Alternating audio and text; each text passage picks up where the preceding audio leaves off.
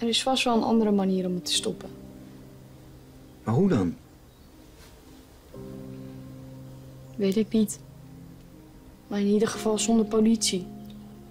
Gewoon zelf. Dat hebben we de vorige keer ook al geprobeerd. Was niet echt een succes. Wat bedoel je daar nou weer mee? Als wij de vorige keer gewoon de politie hadden gebeld, was het misschien niet eens gebeurd. Ik doe het.